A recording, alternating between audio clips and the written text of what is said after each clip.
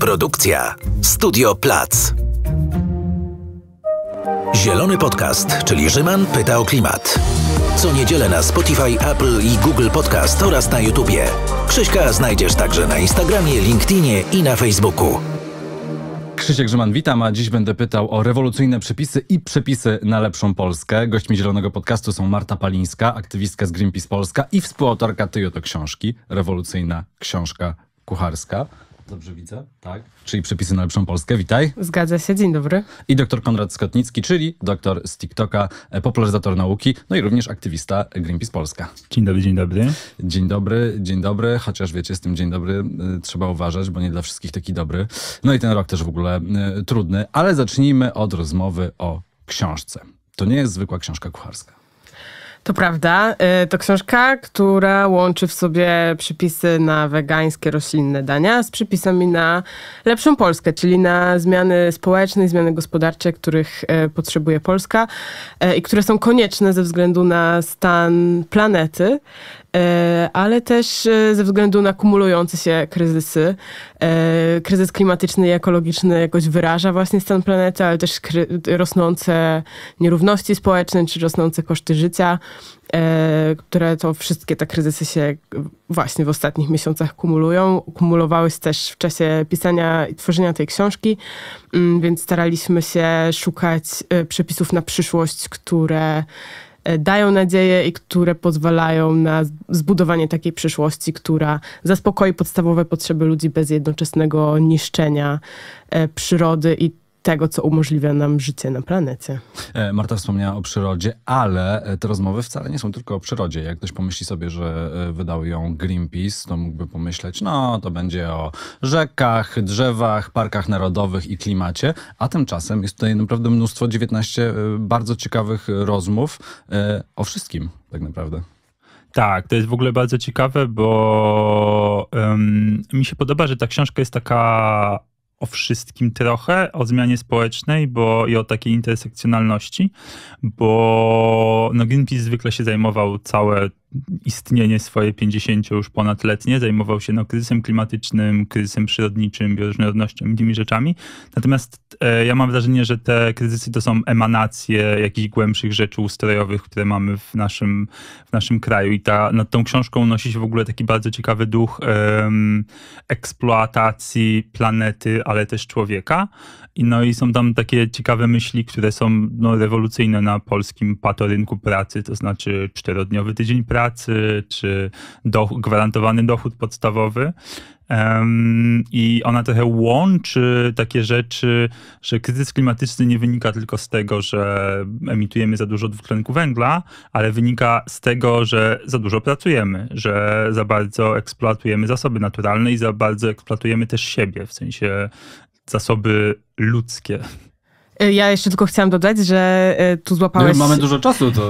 Złapałeś się tej przyrody, a y, no właśnie chyba wszystko polega na tym, że my też jesteśmy częścią przyrody, dlatego ta książka też jest o ludziach i o, o tym, jak działają społeczeństwa, mm, ale też o tym, że żyjemy w systemie, który jest oparty na, na tym, że, że, ciągle powinien wzrastać nasz poziom PKB i ciągle powinna rosnąć, rosnąć produktywność. E, no a to się nie dzieje w próżni, to się wszystko dzieje właśnie w przyrodzie, z której e, to się korzysta bez opamiętania, właśnie eksploatującym do granic możliwości i wytrzymałości. E, więc to wszystko jest wciąż o, o przyrodzie, ale, ale w trochę innym rozumieniu. I jest to też trochę zagranie naszą nazwą Greenpeace, bo zazwyczaj skupialiśmy się właśnie na tej części green, ale my jesteśmy też peace, a, a życie w pokoju nie będzie możliwe, kiedy będą rosły nierówności i kiedy nie będziemy czuli, że jesteśmy wspólnotą i nasze życie wygląda podobnie, możemy sobie zaufać yy, i, i że dla tych zasobów, które jakby się kurczą, starcza dla wszystkich, a, a nie kumuluje je tylko jedna mała grupa ludzi. O tym, że to PiS jest ważne, to pewnie sobie przypomnieliśmy w Polsce w, w, lutym e, tego roku, jak wybuchła wojna, chociaż zawsze działy się gdzieś wojny na świecie, po prostu nigdy nie było wojny tak blisko e, nas. E, ciekawe w tej książce jest to, i to zwróciło moją uwagę, że jest tak mało ekonomistów y, wypowiadających się y, o tym, jak ma wyglądać przyszła Polska, a jest za to mnóstwo innych ekspertów i ekspertek świetnych, y, którym naprawdę warto przeczytać wywiady z nimi. No chociażby Ewa Bińczyk, świetna, oraz kulturoznawczyni... Weronika Parfianowicz. O, Weronika, świetne, to są świetne rozmowy. No właśnie, w tym sensie też jest to książka rewolucyjna, że, że tych e, osób e, zajmujących się ekonomią, ale myślących też o tym, o ludziach i o przyrodzie w tym wszystkim e, jest wciąż mało i, i bardzo, bardzo takich osób potrzebujemy, ale też z kolei Kate Raworth, czyli popularyzatorka takiego konceptu ekonomii obważanka w swojej książce y, mówi o tym, że wszyscy jesteśmy ekonomistami i ekonomistkami. I, y, i tutaj też trochę o to chodzi i, i ta ekonomia to jest troska o nasz wspólny dom, więc y, wszyscy domownicy y, tego dużego domu y, mogą opowiadać o tym, myśleć o tym i wymagać tego, żeby w dany sposób mm, ta ekonomia funkcjonowała. I to, że utarło się jakieś takie skojarzenie, że ekonomia to są y, trudne liczby, Y, i, i, trudne koncepty i trudne słowa ustawiają właśnie gdzieś tak daleko od nas i daleko od naszego rozumienia i poznania. I to jest bardzo sprytny chwyt, który jakby wyklucza wiele osób z tej rozmowy, a my chcielibyśmy, ponieważ chodzi o nas wszystkich i o naszą przyszłość, żeby ta rozmowa była jak najszersza i żeby E, ta rewolucyjna książka kucharska i te przepisy, które tam są, zachęcały do wspólnego spędzania czasu, wspólnego gotowania i wspólnych rozmów o tym, jak ta lepsza Polska mogłaby wyglądać. Do gotowania może jeszcze zaraz przejdziemy, ale timing wydania książki jest świetny, no bo mamy trzylecie wybuchu e, pandemii e, koronawirusa. No w Chinach już minęło, w, w, Polsce pierwsze przypadki to był, zdaje się, marzec 2020 roku i wtedy mieliśmy lockdown od, od 15 marca i wtedy w ogóle było bardzo dużo dyskusji i wydaje mi się, że ta książka jest tak naprawdę kontynuacją kontynuacją tych dyskusji, co dalej, tak? To, to, nie tylko w Polsce, zresztą cały świat się wtedy zastanawiał, jak ta pandemia wpłynie na globalną gospodarkę, na nasze gospodarki krajowe, na nasze życie, te łańcuchy dostaw zerwane, jednocześnie ta konsumpcja, mnóstwo podróży, e, emisje dwutlenku węgla, których nie umiemy ograniczać, to, że świat się zatrzymał i rzeczywiście mogliśmy się zatrzymać i stało się mnóstwo złych rzeczy, ale jednocześnie wiele osób też doświadczyło pięknych rzeczy, nie wiem, chociażby kontakt z naturą, tak? E, to, to w Polsce zamknięcie lasów, takie bardzo to było symboliczne, co się wtedy wydarzyło.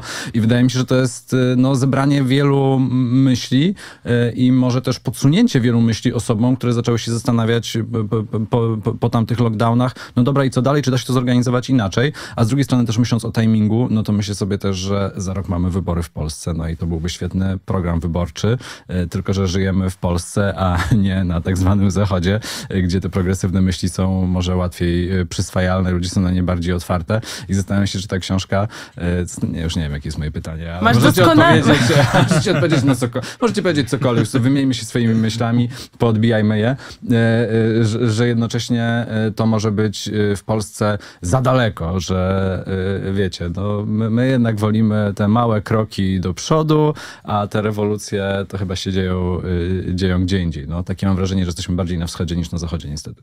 Masz doskonale trafne skojarzenia. Faktycznie pomysł pomysł y, kiełkował w wielu miejscach równocześnie, ale myślę, że takie pierwsze ziarna zostały zasiane zaraz po tym, jak zaczęliśmy mierzyć się z pandemią. Y, I wtedy Greenpeace przedstawił y, taki pomysł Zielonego Państwa Dobrobytu. I tam spisaliśmy właśnie kilka myśli opierając się na głosach właśnie ekonomistów i ekonomistek, jak powinniśmy myśleć o o Polsce, o życiu, o ekonomii, o społeczeństwie mm, po pandemii.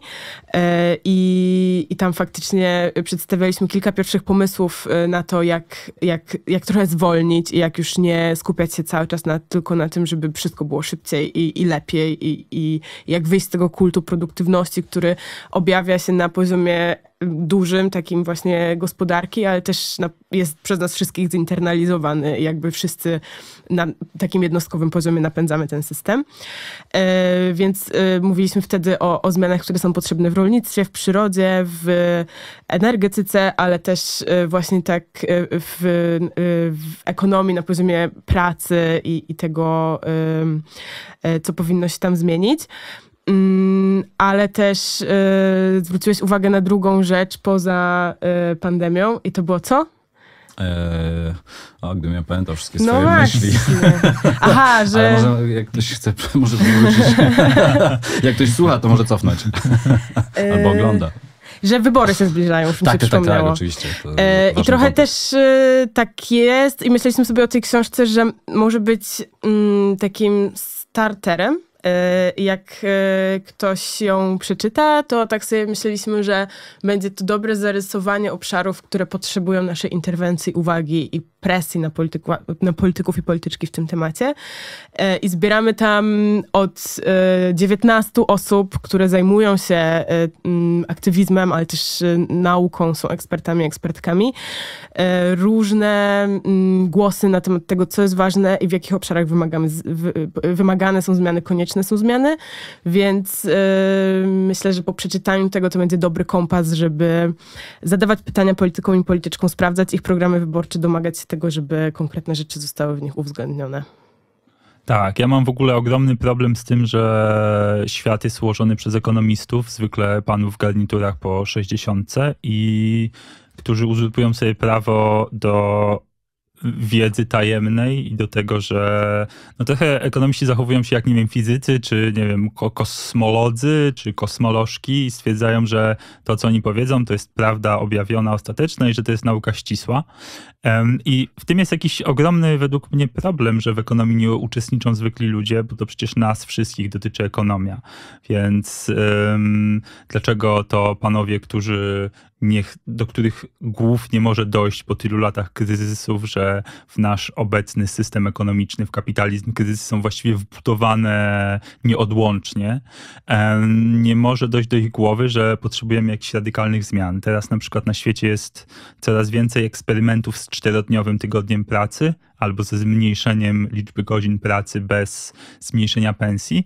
I w większości przypadków to są jakieś spektakularne sukcesy. W sensie ludzie, po pierwsze, to co jest najważniejsze dla korporacji, czyli zysk, wcale nie spada, a ludzie są szczęśliwsi, pracują bardziej efektywnie.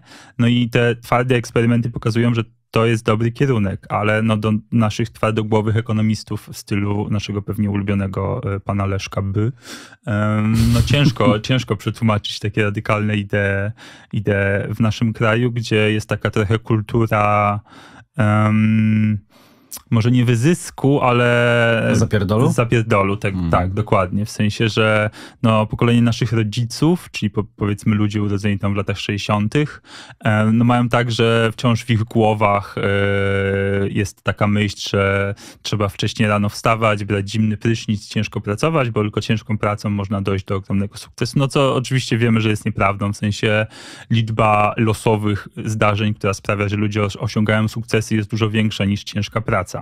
Em, I w ogóle definiowanie swojego szczęścia i swojej wartości jako człowieka przez ciężką pracę jest jakieś straszne i myślę, że w Polsce ono jest absurdalnie mocno zakorzenione w nas wszystkich. E, No mój tato jest ewangelikiem, więc e, mam to mocno zakorzenione, że trzeba bardzo ciężko pracować i praca jest najważniejsza w życiu, więc dziękuję i pozdrawiam. E, Ale śledzę sobie, śledzę sobie zagraniczne media i patrzę na przykład to, co się dzieje z przejęciem Twittera przez Ilona Maska i to, co on tam mówi swoim pracownikom, poza tym, że zwolnił ponad połowę i zrobił to w taki mało kulturalny sposób i też ich tam ciśnie na maksa tych pracowników i kazał im się podpisać pod takim chyba, nie wiem, tam było manifestem, czy może to była tylko jakaś e, w jakimś intranecie firmowym, ale że zobowiązują się do hardkorowej pracy na rzecz Twittera, bo inaczej się nie uda. I patrzysz sobie na to wszystko i myślisz, serio, w 2022 rok najbogatszy człowiek na świecie przejmuje w sumie to jeden z, jedna z ważniejszych stron internetowych i totalnie nie radzi sobie z zarządzaniem zespołem ludzkim, który jest duży, bo liczył na początku 7,5 tysiąca ludzi, ale to też nie była jakaś największa organizacja na świecie. Myślisz sobie, o wow, to w jakim, w jakim miejscu jesteśmy tak naprawdę? Tak, ja coraz bardziej mam tak, że zaczynam widzieć rys psychopatyczny we wszystkich e, osobach zarządzających w wielu miejscach, że jest jakiś taki. em, że w Polsce w ogóle nie ma takiego modelu zarządzania partycypacyjnego, że razem dążymy do jakiegoś celu i w sensie, że ja, ja- zawsze to sobie tłumaczę trochę przykładem chirurgów, bo no ja jestem płci, jakiej jestem, więc jestem wychowany w czymś takim, że rządzenie twardą ręką prowadzi do sukcesu, że nie ma tak, bo jeżeli nie będziemy rządzili twardą ręką, to ludzie się rozprężą i ludzie będą, nie będą pracowali, będą unikali pracy. I to jest według mnie straszne, bo no, różne doświadczenia pokazują, że na przykład y, spółdzielnie świetnie działają. W tej książce Jan Zygmuntowski świetnie... No właśnie tutaj chciałem nawiązać do książki z powrotem, bo Marta już się tak niepokoiła, że rozmowa skręciła gdzieś na jakieś na boczne tory, na Twittera, a tymczasem Janek Zygmuntowski z Cooptech Hub jest w książce. Tak, więc taka współodpowiedzialność za jakiś projekt, firmę, spółdzielnię czy cokolwiek też daje spektakularne efekty, no bo jeżeli nie czujesz, że musisz odbębnić 8 godzin, dostać wypłatę i wrócić do domu i zapomnieć o swojej firmie, to ale rzeczywiście masz w niej udziały, ale nie takie rynkowe, korporacyjne udziały, tylko po prostu jesteś współodpowiedzialny za nią, no to brzmi jak piękna utopijna wizja um, i ja w nią, szczerze mówiąc, wierzę. Ja w mało utopijnych wizji wierzę, ale ta spółdzielczość brzmi jak coś, co ewidentnie się może udać, tylko nie może być zrobione po polsku, tak jak, nie wiem, spółdzielnie mieszkaniowe, które są jakąś patologią Polski, więc myślę, że da się to zrobić dobrze.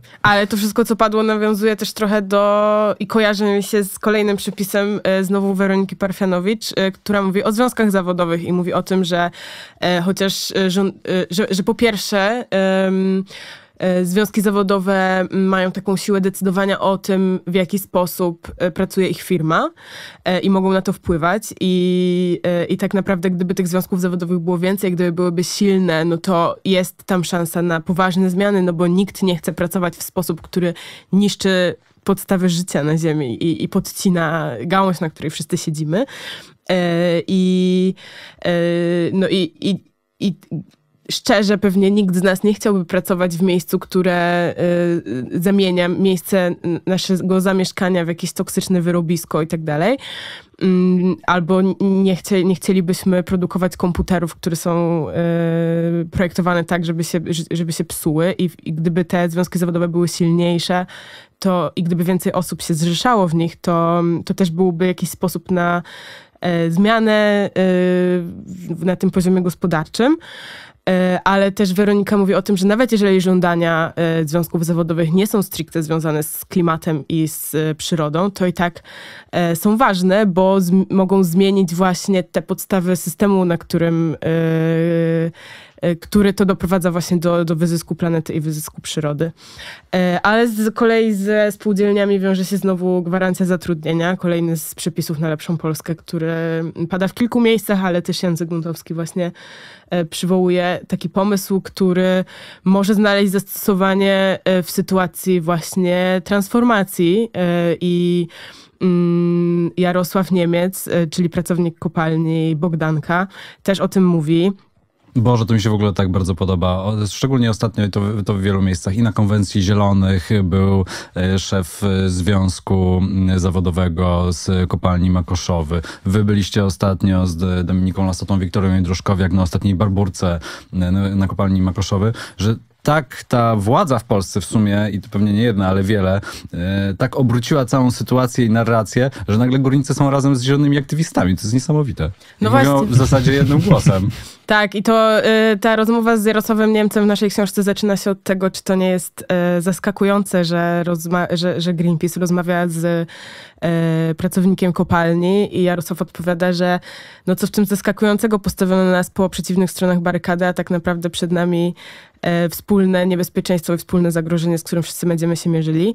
E, I rozmawiamy z Jarosławem dużo o pracy właśnie i o tym, że wszyscy chcieliby, chcieli, żeby, chcieliby, żeby ich praca była stabilna, godnie wynagradzana, pewna, e, najlepiej też blisko miejsca zamieszkania i, i żeby mm, transformacja, która będzie działała się w górnictwie nie powodowała, że musimy wyjeżdżać za granicę albo wyjeżdżać do dużych miejscowości, tylko żeby ta praca powstawała w miejscach, w których my żyjemy, koło nas i żeby odpowiadała na lokalne potrzeby.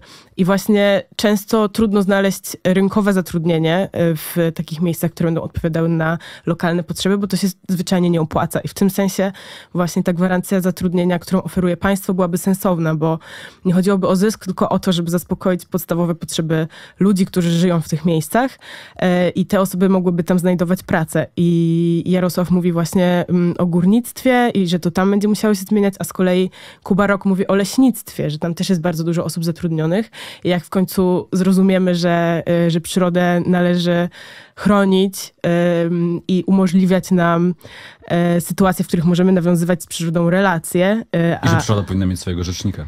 też, też to takiego- mówię, to prawda. Prawdziwego rzecznika. Mamy ministrów środowiska, to ja nie to sobie. I dyrekcję lasów, dyrekcję wycinania lasów.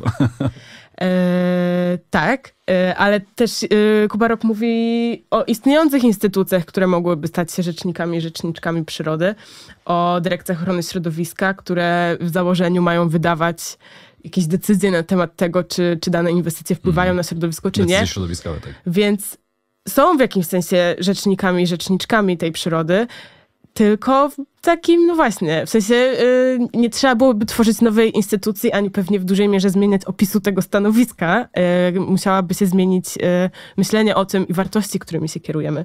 Natomiast y, wracając jeszcze y, do tego leśnictwa y, i do zmian i do transformacji, dużo rozmawiamy w tej książce o pracy, o pracy przyszłości, która będzie opierała się o troskę. I właśnie Kubarok mówi, że, że to może być troska o, o przyrodę, ale też troska o ludzi. E, I, I później właśnie z Agnieszką Graf, z Weroniką Parfianowicz, z różnymi osobami rozmawiamy o tym, jak bardzo potrzebna będzie praca opiekuńcza, która powinna być godnie wynagradzana. I Pewnie z Marcelem też o tym rozmawiać. Dokładnie tak. E, Z Marcelem Andinovelezem rozmawiamy o tym, e, że więcej osób powinno, sorry, powinno znaleźć zatrudnienie w geriatrii w związku ze starzejącym się społeczeństwem. Mm, Ale też Agnieszka Graf mówi o tym, że to jest e, niesamowity paradoks, że w dzisiejszym świecie więcej płacimy osobie, która zajmuje się naszym samochodem albo komputerem, niż osobie, która zajmuje się naszym starym, chorym ojcem czy naszym dzieckiem. I, i właśnie w tym sensie też będziemy musieli zmieniać myślenie o tej pracy, sprawiać, żeby pracą opiekuńczą nie zajmowały się tylko kobiety, ale żebyśmy dzielili się nią sprawiedliwie pomiędzy wszystkich członków i członkini społeczeństwa. E, I to właśnie w tym obszarze tworzyć nowe miejsca pracy, które nie muszą przynosić zysku, ale odpowiadają na potrzeby ludzi i sp- społeczności. No, to, to, to jest też pewnie jeden z problemów polskiego systemu em, e, opieki e, społecznej. Była przecież wielka reforma, nowy ład, coś tam pozmieniano. Tu szacher, macher, 9% składki zdrowotnej i nikt nie pomyślał o tym, że w zasadzie w Polsce nie ma żadnej składki opiekuńczej. Nie? Mamy bardzo starzejące się społeczeństwo, które będzie potrzebowało coraz więcej y, usług i to silver economy, które jest pewnie też wykorzystywane przez wiele korporacji i tam są sprzedawane różne usługi pod tym hasłem, bo to, bo to fajnie brzmi. Tak naprawdę to będzie wielkie, wielkie wyzwanie dla starzejącego się każdego społeczeństwa. No to Europa Zachodnia już się z tym mierzy, a Polska się będzie mierzyć za chwilę. Wiem, że dużo mówię i już zaraz oddaję ci głos, Mów, ale mów, to jeszcze... twoja, twoja książka. To jest, to jest twój odcinek. Jeszcze tylko chciałam powiedzieć, że w książce rozmawiamy też z Wojtkiem Sawickim, który mówi o tym, jak dostosowywać Polskę do potrzeb osób z niepełnosprawnościami. I on zwraca tam uwagę na to, że mm, te zmiany, które których potrzebują ludzie, którzy, których sprawność nie jest y, normatywna, e, to są zmiany, których potrzebujemy wszyscy, bo każdy z nas w końcu będzie starszą osobą i każdy z nas będzie miał problemy z mobilnością i jeszcze chwila i, i to będzie większość naszego społeczeństwa, która będzie miała takie problemy.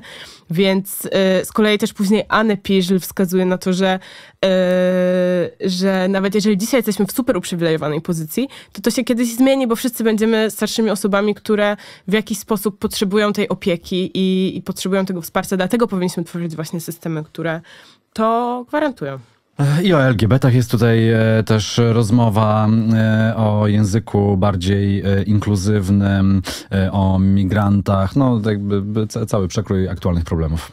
Tak, no pandemia pokazała świetnie, y, jakich ludzi naprawdę potrzebujemy, jakich zawodów naprawdę potrzebujemy, że może nie potrzebujemy aż tylu bankierów i maklerów na świecie, że to nie są zawody, które powinny być wynagradzane pięciocyfrowymi kwotami, tylko potrzebujemy ludzi, którzy zajmą się innymi ludźmi, potrzebujemy pielęgniarek więcej, potrzebujemy nauczycieli. Zresztą też kryzys y, związany z atakiem Rosji na Ukrainę pokazał, jak dużo e, dzieci na przykład przyjechało do nas z Ukrainy i teraz e, nauczyciele w ogóle są pierwszą linią frontu, którą, którzy, którzy muszą sobie radzić w tym nowym systemie bez żadnej pomocy państwa, ze swoimi pensjami, które są absurdalne, jeżeli chodzi o edukację w Polsce. E, czytałem bardzo dużo właśnie o nauczycielach i nauczycielkach, do których przychodzą dzieci z Ukrainy, które nie mówią po polsku i ani państwo, ani szkoła, ani kuratoria, ani Ministerstwo Edukacji nie zapewnia pomocy. Oni i one sami muszą się uczyć języka, sami muszą organizować nową klasę, w której nagle jest, nie wiem, 30% osób nie mówiących w języku, w którym się mówi w tej klasie. No i to, tacy ludzie według mnie powinni być fundamentem społeczeństwa, a nie panowie pod krawatami, którzy mówią nam, jak mamy żyć. No, ale to jest też kwestia tego rządu, który aktualnie mamy, który nie chce współpracować z samorządem i wszystkie trudne zadania po prostu spycha w taki mało elegancki sposób na samorządy i mówi, no to załatwione, co tam poradzicie teraz padły pięciocyfrowe wynagrodzenia, więc ja e, skojarzyłam się to z kolejnym przepisem. E, tu z kolei Tomasz Markiewka mówi mm, o tym, że należałoby jakoś ograniczyć właśnie te sytuacje, w których ludzie zarabiają bardzo, bardzo, bardzo, bardzo dużo pieniędzy. E, I w całej książce to się przewija kilka razy, pojawiają się różne pomysły na to. Oczywiście e, opodatkowanie najbogatszych osób na świecie, co w Polsce nie do końca e, pewnie miałoby sens, ale też... Podobno lepszym rozwiązaniem od tax the rich jest eat the rich. Też tak słyszałam w kontekście książki kucharskiej. jest wegańska. Na razie zostaliśmy przy przepisie na obważanka, jeszcze nie mamy przepisu na osoby bogate. W pewnym sensie mamy właśnie w tej um, części społecznej społeczno-ekonomicznej. E, natomiast dużo się mówi też um, o maksymalnym wynagrodzeniu. E, czyli tak samo jak mamy pensję minimalną, żeby wprowadzać pensję maksymalną, tak żeby osoba zarabiająca w danej firmie, w danym miejscu najwięcej, nie zarabiała setki razy więcej niż osoba zarabiająca najmniej, tylko kilka, kilkanaście nawet może być razy więcej. I to właśnie to wyrównywanie tych nierówności ekonomicznych mm, sprawiłoby też, że bylibyśmy bliżej siebie, bo właśnie e, Tomasz Markiewka mówi o tym, że jeżeli ktoś zarabia właśnie kilkadziesiąt tysięcy złotych miesięcznie i jest jakimś menadżerem, mm, a z drugiej strony jest e, pielęgniarka albo osoba sprzątająca w tej firmie, w której ta osoba jest menadżerem, to te osoby żyją w dwóch zupełnie innych światach. I, i to, yy, że, że jedna osoba zarabia tak bardzo dużo, yy, a ta druga tak bardzo mało, sprawia, że tam nie ma pola do porozumienia i do wspólnego robienia czegokolwiek i wspólnego myślenia o czymkolwiek, bo, bo te nasze światy są bo te światy tych osób są tak bardzo od siebie różne, ale też bardzo ciekawy pomysł, który y, pada z, w przepisie y, Jana Zygmuntowskiego, to są pieniądze, które miałyby ograniczony czas ważności. I to nie sprzyjałoby kumulowaniu tych pieniędzy, tylko sprzyjałoby tym osobom, które wydają te pieniądze e, i, i pewnie zarabiają też mniej, więc większość tego, co zarabiają, wydają na bieżące potrzeby.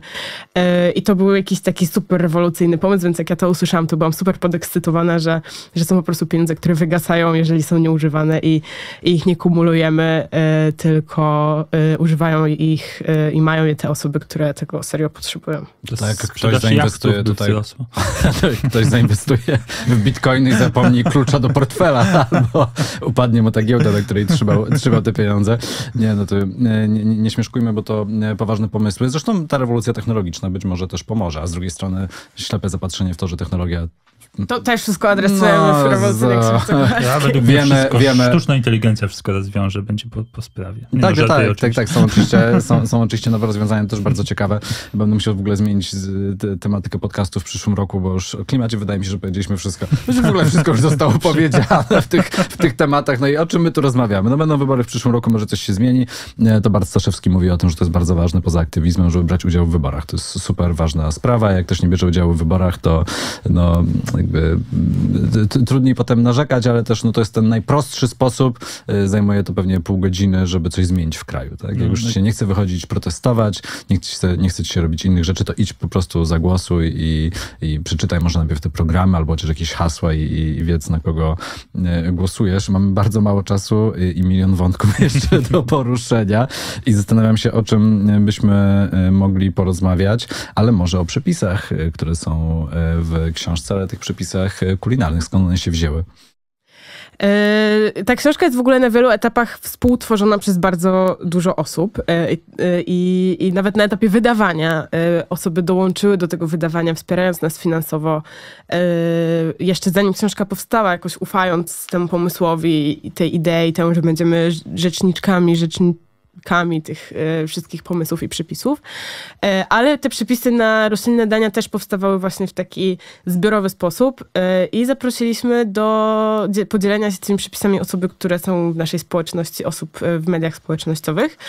E, I zależało nam na przepisach, które będą przygotowywane z roślinnych składników, z takich składników, które są jak najbardziej dostępne e, też w mniejszych miejscowościach, nie tylko w dużych supermarketach w Warszawie, e, które są jak najmniej szkodliwe dla środowiska, chociaż to jest oczywiście temat rzeka i tutaj bardzo trudno jest mieć takie, taką stuprocentową pewność, że, że to wszystko jest super ekologiczne i bez żadnej presji na środowisko. Zresztą też em, w ogóle to te, ta kulinarna część tej książki jest moim zdaniem świetnym odzwiercied- odz- odzwierciedleniem w ogóle tych wszystkich problemów, o których mówimy w tej drugiej części książki, bo to w jaki sposób wytwarza się żywność, w jaki sposób się ją transportuje, w jaki sposób się ją kupuje i gotuje, bardzo odzwierciedla te wszystkie właśnie problemy, które mamy, bo, bo produkcja powoduje emisję gazów cieplarnianych, utratę bioróżnorodności, zmianę sposobu użytkowania ziemi, e, zatruwanie wody, azot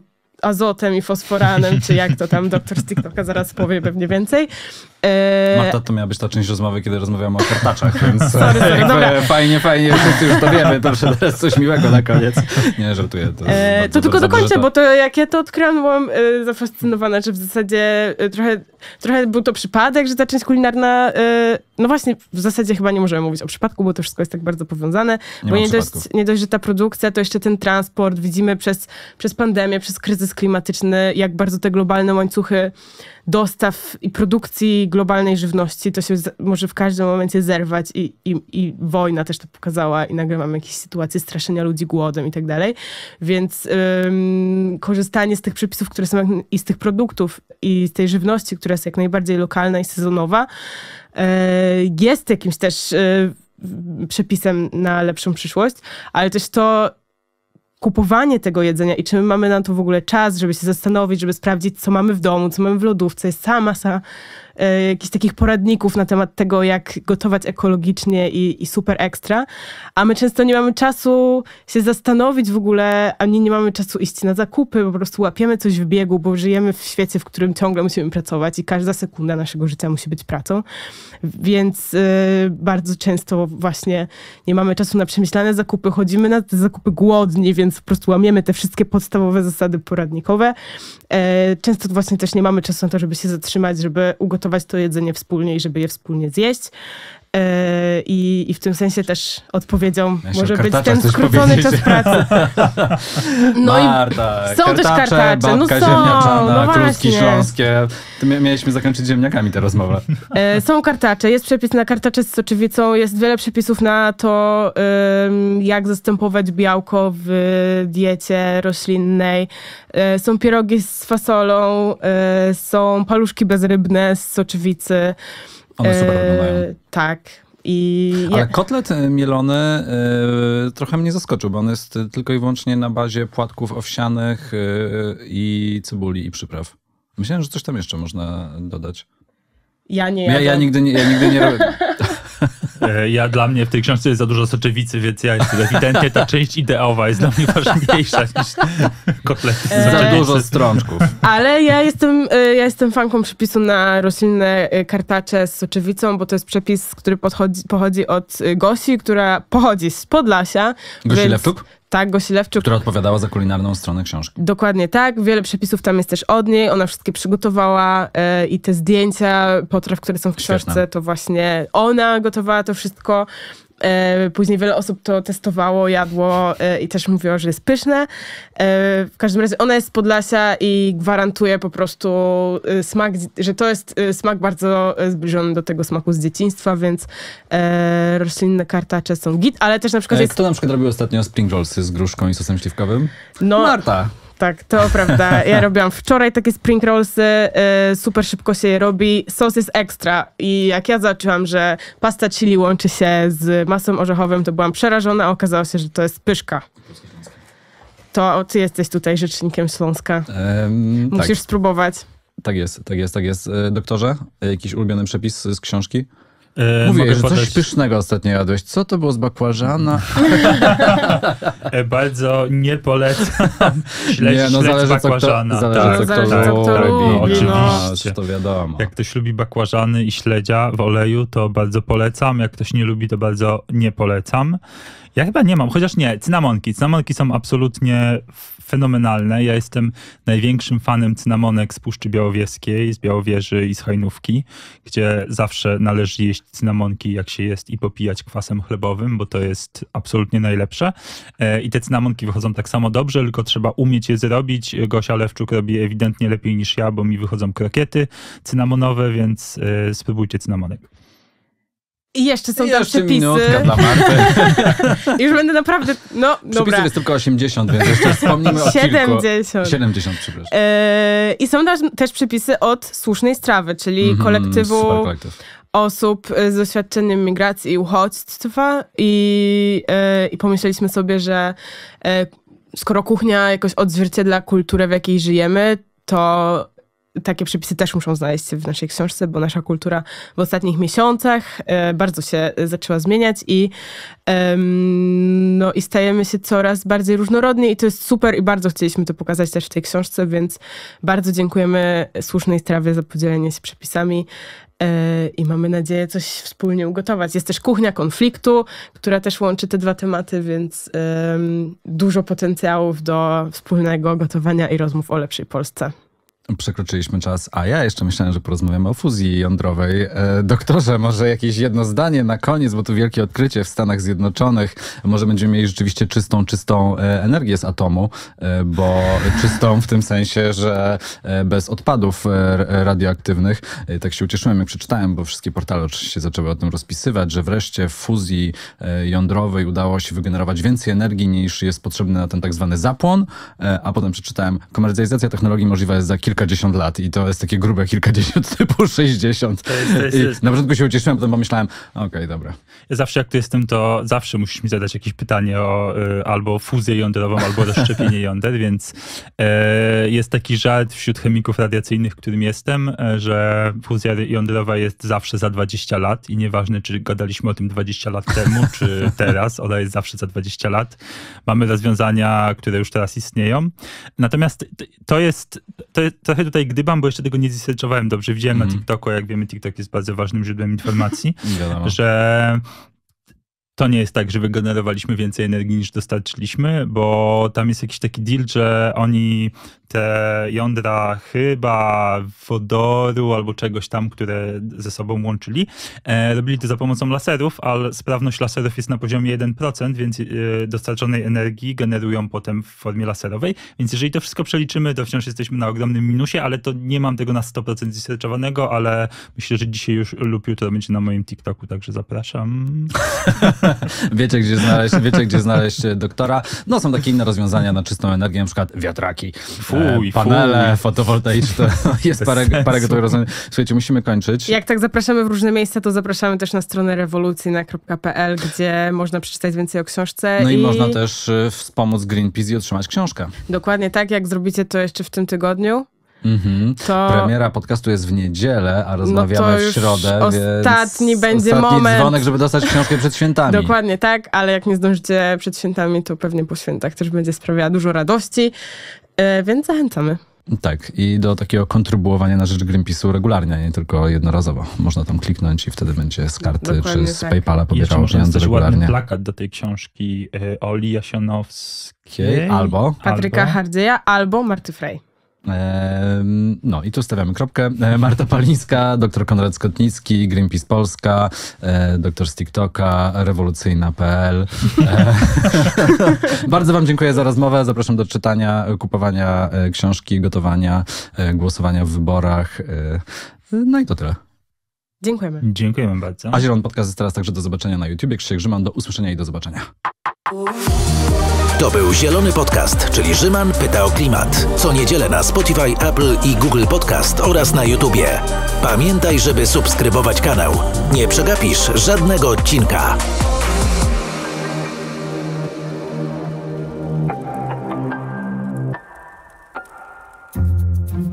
Produkcja Studio Plac.